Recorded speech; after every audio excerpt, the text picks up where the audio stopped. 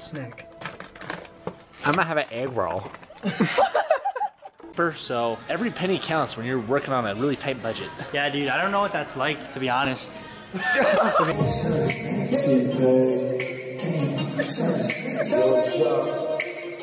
Do not land or jump on padding.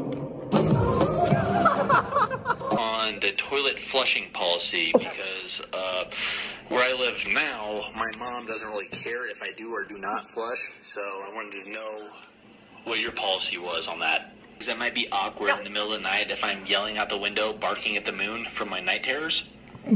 Uh, no, it's a single room. Nobody. Welcome back to Sean's ribs.